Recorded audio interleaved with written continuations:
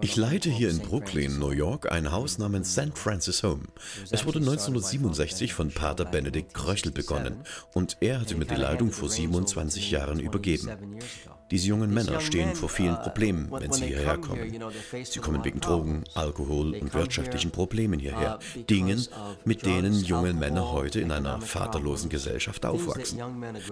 Fast jeder junge Mann, der hierher kommt, wurde entweder aus der Schule geworfen oder hat die Schule verlassen.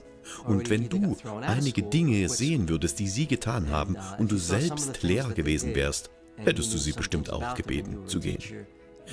Diese Umgebung hier ist jedoch eine auf Christus hin ausgerichtete. Weißt du, diese jungen Männer, die vaterlos aufgewachsen sind, kommen hier an und dann betrachten sie Gott als Feind, weil ihr leiblicher Vater der Feind war. Es ist also schwierig, die Verbindung herzustellen. Aber im Laufe der Zeit werden die uh, Verbindungen hergestellt. Und man kann beobachten, wie andere Männer oder die Franziskanerbrüder zum Beispiel, die Christus wie ich nachfolgen, ein Beispiel für die Jungs hier werden. Weißt du, was ich von den jungen Männern gelernt habe? Dass sie nicht sehr gut zuhören. Aber sie beobachten alles, was du tust. Und so kann ich ihnen ein Beispiel geben. Wenn ich einen Nagel in eine Wand uh, hämmerte und ein weiterer Hammer und ein Nagel auf dem Boden lägen und ich diesen Nagel einfach weiter einhämmerte, würde einer der jungen Männer ihn aufheben und mich kopieren. Sie würden bald das Gleiche wie ich tun. Aber wenn ich sie darum bitten würde, würden sie es vielleicht nicht wollen. Wir gehen also mit gutem Beispiel voran. Und es ist nicht ungewöhnlich, dass ich jemandem sage, wenn es ein Problem gibt, weißt du, wer dieses Haus leitet? Und sie werden sagen, ja, du, Joe. Und dann sage ich, nein, Gott leitet dieses Haus. Ich nehme Anweisungen von ihm entgegen. Und in diesem Moment wissen sie nichts mehr zu sagen.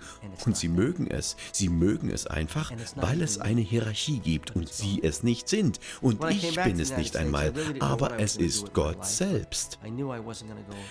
Als ich in die USA zurückkam, wusste ich wirklich nicht, was ich mit meinem Leben anfangen würde. Aber ich wusste, dass ich kein Geschäftsmann mehr sein würde. Und dann traf ich die Franziskaner der Erneuerung. Für mich war das ein Zeichen. Weniger zu haben war für mich immer mehr. Und als ich die Brüder traf, stellten sie mich Pater Benedikt Kröchel vor. Ich ging damals zu ihm, um mit ihm über meine Erfahrungen zu sprechen. Und die erste Frage, die er mich fragte, war, was ist das Problem? Das Problem bin ich. Ich denke, ich bin verrückt. Und er sah mich an und sagt, warum denkst du, dass du verrückt bist? Ich sagte, weil ich im Begriff bin, alles wegzugeben, um nur mit den Armen zu arbeiten. Ich bin dabei, mein ganzes Leben dafür aufzuopfern. Er sagte, nun, du bist wirklich verrückt, aber diesmal wettest du für das richtige Team. Das war das erste Mal, dass mir jemand in dieser Sache zustimmte. Und er war Priester und Professor, er war Arzt und er war Psychologe. Er war jemand, der gebildet war und mir sagte, ich solle meinen Traum folgen und dem Wunsch meines Herzens folgen. Und ich habe ihm geglaubt. Ich habe ihm geglaubt.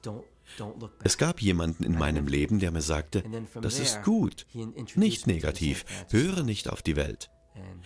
Pater Benedikt sagte mir, Joe, wenn du diesen nächsten Schritt machst, geh einfach nur den nächsten Schritt. Er hat es wirklich einfach gehalten. Er sagte, schau nicht zurück. Und das habe ich nie getan.